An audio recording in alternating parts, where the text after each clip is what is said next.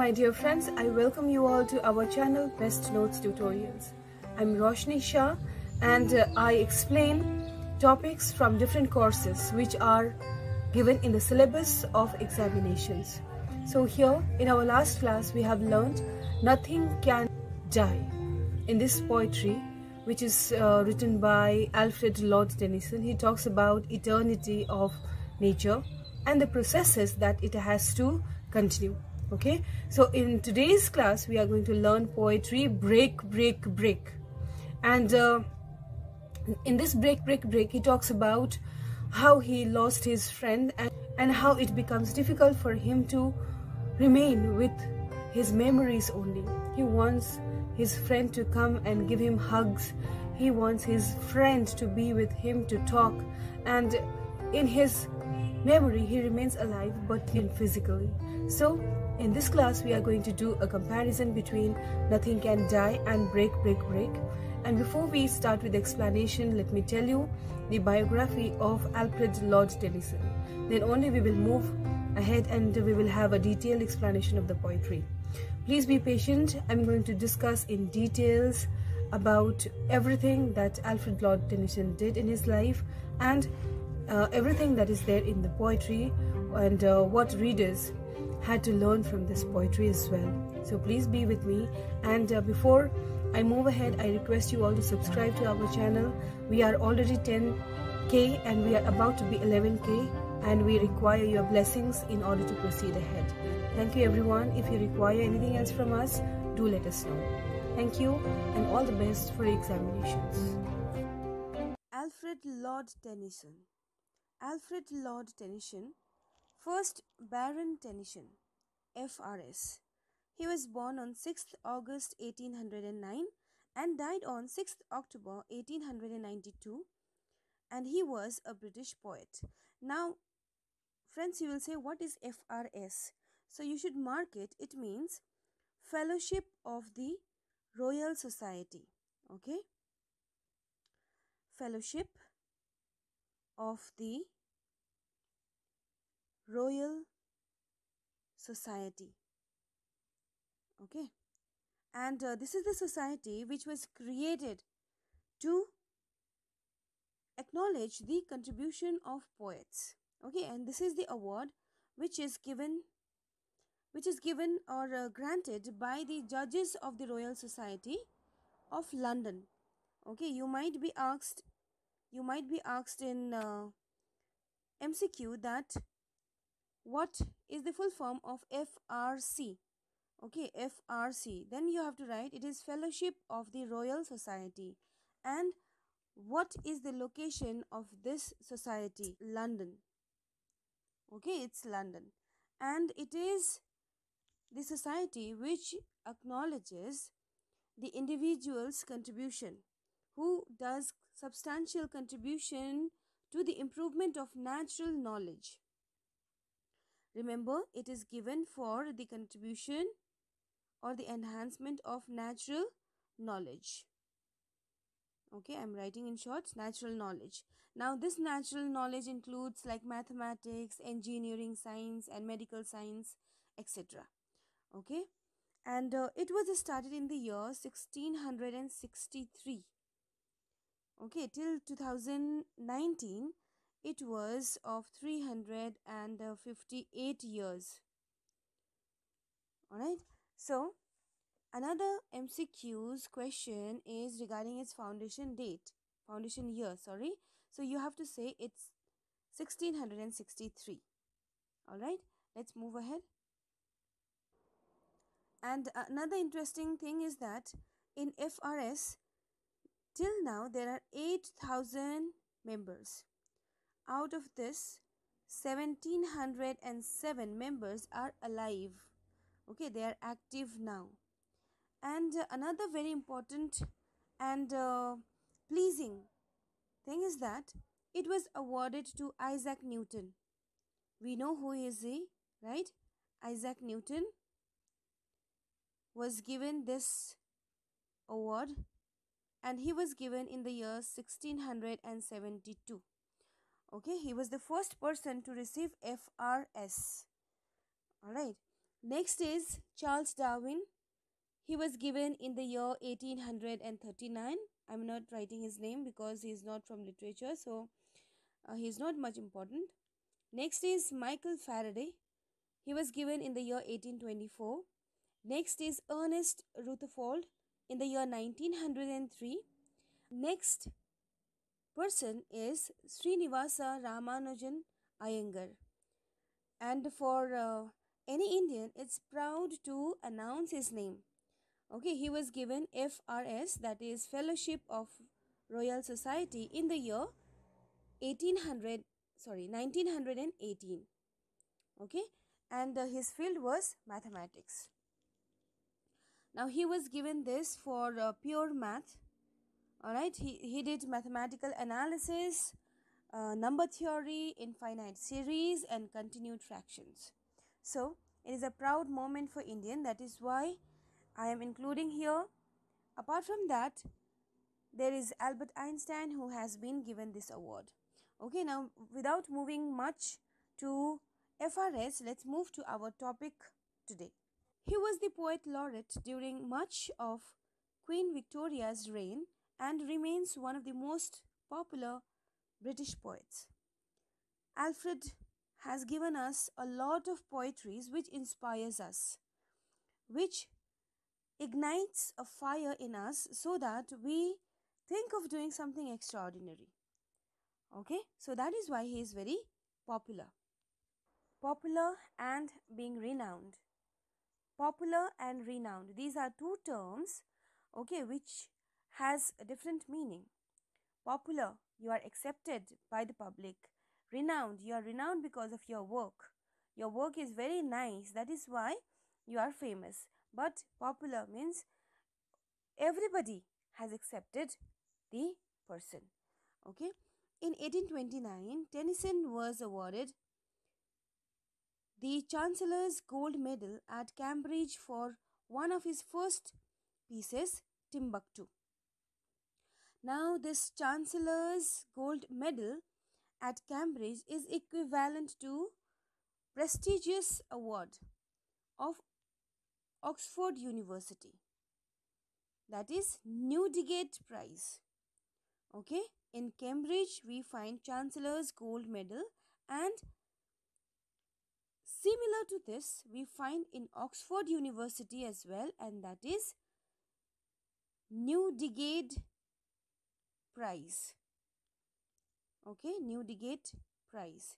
Now in the MCQ you might be asked that what is the equivalent to Chancellor's Gold Medal. Then you have to write Newdigate Prize which is issued by Oxford University. Okay. And Arthur has received it for his work Timbuktu, for the poetry Timbuktu. Okay. Now what do you understand by the term Timbuktu? Here also you can get question. Alright. What is the literal meaning of Timbuktu? Now it means far away place. Far away place or distant place which is unreachable. Okay. Now literally if you see this term then you find the places which are away from our sight, away from our reach. Okay. Now when we see it symbolically it means imagination. Okay our imagination is far away place which cannot be brought to our reality okay or closer to us. That is why timbuktu is an imaginary place which is unreachable. There is a vast rift okay there is a huge rift between reality and imaginary world. So this is the literal meaning of timbuktu far away place okay He published his first solo collection of poems, poems chiefly lyrical in 1830. In the year 1830, he published chiefly lyrical poems. Lyrical means the poem which has a musical effect, okay, which is not written in blank verse. Alright, because in order to have a musical effect, it has to be in a rhymic scheme it should have meter it should have proper syllable Okay, so this was the collection of lyrical poems. Okay, let's move to another point.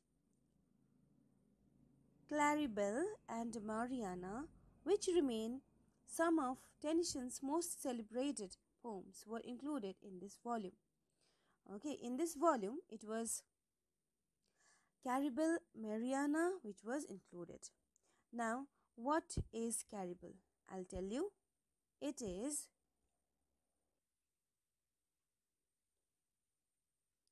Claribel and Mariana, which remain some of Tennyson's most celebrated poems, were included in this volume. I'll tell you what are these two poetries all about, okay? Although decried by some critics as overly sentimental, his verse soon proved popular and brought Tennyson to the attention of well-known writers of the day, including S.T. Coleridge or Samuel Taylor Coleridge. Now, decried. Decried means to denounce, okay, not to give importance. Alright, now many of the critics had denounced, okay, they had ignored the work of Alfred Lord Tennyson, but people received it. Okay, when people read, they could connect themselves with the poetry, and then gradually, they, uh, you know, the poetries became very famous. All right because of the sentimentality of the poetry he became close to the heart of the readers okay and this is the want of the poem. Okay however good the work is it won't be famous unless and until it reaches to the public. It reaches to the audience it reaches to the readers. Okay it's like uh, writing a song. Okay the words are wonderful the rhyme is very good but it is not understandable to the readers or the listeners. What will happen? The song will go in vain. Okay the task of the writer the task or the hard work of the musician will go in vain. Okay so what i mean to say is that whatever work the artist creates be it a poet be it a writer okay it should be connectable. Okay it should be reachable to the public. Then only it will be famous. The same thing has happened here in Tennyson's poetry as well. When he wrote the poetry it was not adequate to the requirement of critics okay but it was according to the will of the readers so he gained popularity and at the same time it reached to Samuel Taylor Coleridge also we know who is he he is the initiator of romantic period in the collaboration of William Wordsworth. Okay, S.T. Coleridge, then William Wordsworth, Blake, all these are uh, first generation poet of romantic period. Okay, so here we find popularity of Alfred Lord Tennyson's poetry. Tennyson's early poetry with its medievalism and powerful visual imagery was a major influence on the pre-Raphaelite Brotherhood. Okay, so Tennyson's early poetry with its medievalism, there was something classy in the poetries of Tennyson. That is why it was powerful as well. And another thing was that it was visual imagery. With the help of words, we will be able to imagine the scenario that poet wants to explain or the poet wants to reach to the audience okay through words it is candid clear all right. And it has Im been implemented through visual imagery. Okay. Because of visual imagery it had gained major influence. It was able to influence people because through when they are reading the poetry they are imagining there is some scene which is going into their mind. And that image that you know uh, the uh, story that they have created in their mind it's so vivid okay it's so vivid that they are totally engaged in that particular poetry. So this was the characteristic of pre-raphaelite or the poetries of alfred lord tennyson okay what is pre-raphaelite? I'll tell you. Now, apart from this, let's talk about the some of the poetries which are extremely important and uh, which he has written in such a manner that so that it had become worldwide active poetry till date. First is Break, Break, Break. Next is The Charge of the Light Brigade. Then Tears, Idle Tears. Then we have Crossing the Bar. Okay, all these poetries are heart touching. That is why we have not forgotten, the world has not forgotten his contribution yet. Now, let us discuss what are there in Break, Break, Break, The Charge of the Light Brigade, Tears, Idle Tears, and Crossing the Bar. Okay, let me tell you a little summary of all these four things. Let's move to the next point. Much of his verse was based on classical mythological themes such as Ulysses, although in Memoriam AHH was written to commemorate his friend Arthur Hallam, a fellow poet and a student in Trinity College, Cambridge, after he died of a stroke at the age of 22. So here we get to understand that he had used mythological themes. Okay, it's also pronounced in another way that is mythological. Mythology is also correct, mythological is also correct, or mythological is also equally right. Okay, so here we find that in his poetry there is inclusion of classical or Greek mythology, and because of which we find interesting themes in poetries like Ulysses. Okay, now except this, he talks about AHH Arthur Hallam in this poetry in memoriam because he had died because of a stroke at the very early age of 22 and Tennyson wanted to immortalize the name of his friend AHH that is Arthur Hallam so he did so Tennyson also wrote some notable blank verse including Idylls of the King, Ulysses, and Tithonus. Now, some of the, uh, as I have already told you, that most of the songs, most of the poetries were in sing song manner or musical effect was there in all the poetries, but here it was not so. It was Ulysses and Tithonus, which and uh, Idylls as well. These three things did not have uh, any rhyme scheme that is why these three were in blank verse maybe these are very long stories so the writer required to use blank verse in order to narrate the story. Okay because if he will try to maintain the rhyme scheme then it might not give such uh, grace and effect which the poetry requires. That is why he switched to blank so, friends, after knowing Alfred Lord Tennyson's biography, we are going to move towards his extremely crucial work that is Break, Break, Break.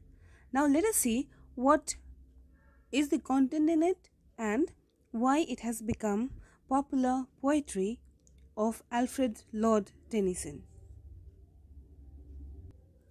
Let me read out the poetry and then I'll go with the explanation. Break, break, break. O thy cold grey stones, O sea, and I would that my tongue could utter the thoughts that arise in me. Oh, well for the fisherman's boy that he shouts with his sister at play. Oh, well for the sailor lad that he sings in his boat on the bay and the stately ships go on to their haven under the hill. But oh, for the touch of a vanished hand and the sound of a voice that is still. Break, break, break at the foot of the crags, O sea. But the tender grace of a day that is dead will never come back to me. This poetry was first published in 1842 and This happened after nine years of the death of Arthur Henry Hallam at Vienna, Austria. Arthur Henry Hallam was intimate friend of Lord Tennyson and in his memory he writes in memoriam poetry. That elegy, here elegy means a poetry which mourns someone's death. That elegy sets forth at full length and with ample elaboration the sorrow with this exquisite lyric expresses in quintessence. So here the experience of poet is being shown and he compares the sorrow with the sea especially the water which is splashing at the rock which is at the bank of the river the rocks are quiet and the wave which creates a lot of confusion while arriving to the bank it becomes quiet when it strikes with the crag so this emotion is being expressed. He has a lot of emotion which is taking place in his heart and mind. He wants to pour it out, but being an adult, he is not able to cry. He is not able to speak to anybody as well. The expression remains in his heart and it becomes unbearable for him. It was composed in a Lincoln Lincolnshire Lane at 5 o'clock in the morning between blossoming hedges. Blossoming hedges means the hedges, the plants which are planted for embankment. You must have seen in garden the plant grows in this way.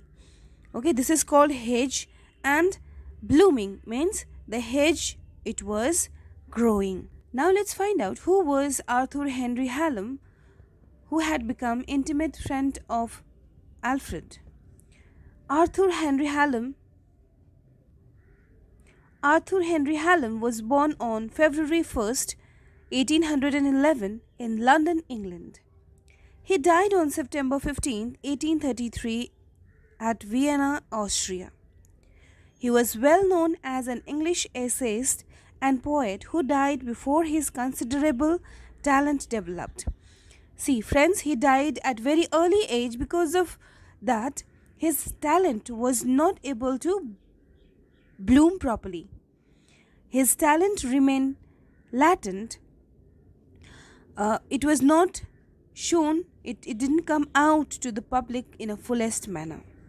He is remembered principally as the friend of Alfred Tennyson, commemorated in Tennyson's elegy in Memoriam.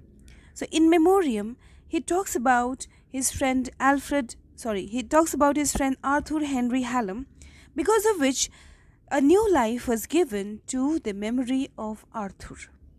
Hallam was the son of English historian Henry Hallam. Even though he was son of his historian, he had interest in English. He met Tennyson at Trinity College, Cambridge in the year 1828. Friends, you must remember all these dates for your examination and the place as well where Arthur and Alfred met, where they joined together artistically and politically progressive students in the club called the Apostles. Here, what is apostle? What is the apostles? it might be asked in your examination you have to write it is artistically who had artistic inclination and those who had political progressiveness sorry they were engaged in a group called apostle and even these two friends engulfed themselves into it hallam defended tennyson's early work poems chiefly lyrical 1830 in a review for the englishman's magazine and was engaged to Tennyson's sister Emily in the year 1832. See, Alfred Lord Tennyson had utter faith in Hallam, therefore, he chose him for his sister Emily. Otherwise, he would not have believed in this relationship, but he had faith, that is why Emily and Hallam were together. And they were engaged in the year 1832. 1832 after 4 years of their meeting. Hallam's prize winning essays and critically acclaimed poets, poems were collected and printed posthumously by his father. Posthumously means after his death. After the death of Hallam, it was published by his father, the historian Henry Hallam, in Remains. This is the name of the book where we find verses of Hallam. In verses and prose of Arthur Henry Hallam in the year 1834. In this year, his book was published, and here we find all his essential works. Now, let's move towards the explanation of the poetry. The poet expresses the all round joy witnessed by him on the Clevedon beach. Now, here the poet is sitting and noticing the things which are happening all around him. He remembers his childhood days when he was with his friend Arthur Hallam. The fisherman's boy, while playing with his sister, feels happiness and so he shouts merrily. Here, when he was sitting at Clevedon Beach, he found there was a boy who was playing with his sister, and he was extremely happy to be with his sister and play joyfully. Now, the poet, who was extremely sad, he notices that the boy has nothing to do with the death of his friend. That is why he is happy and he is very much engaged in his own life.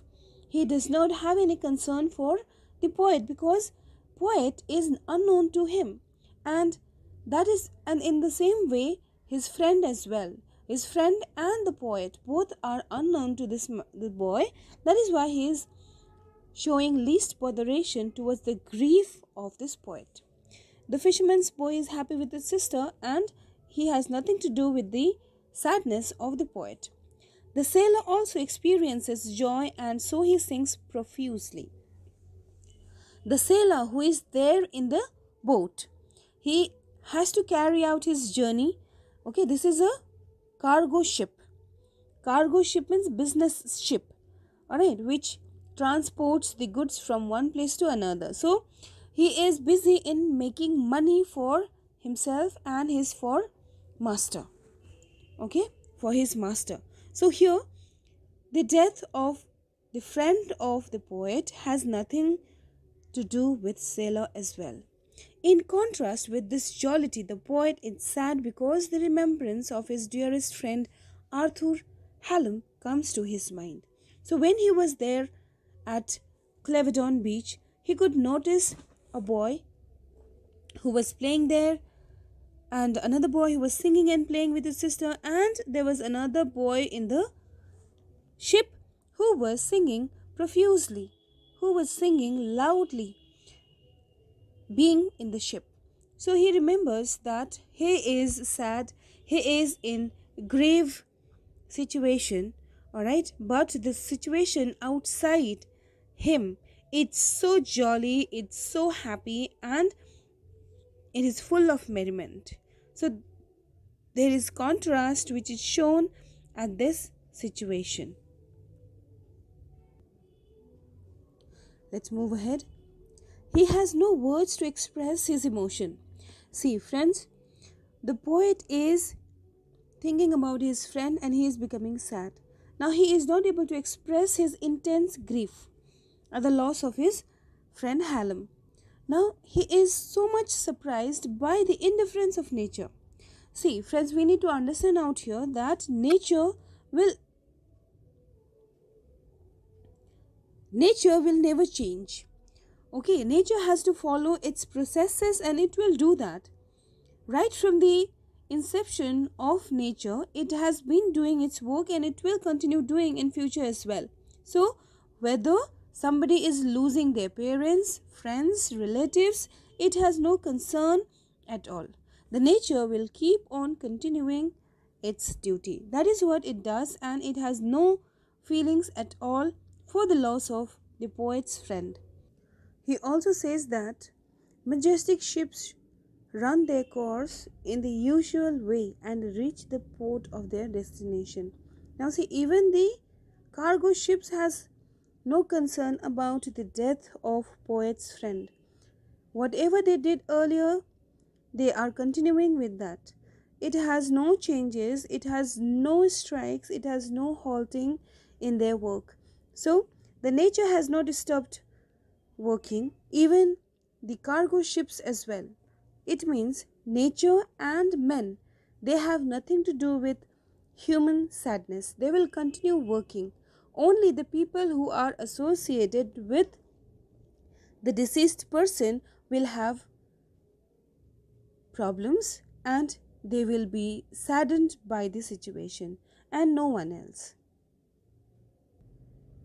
Let's move ahead.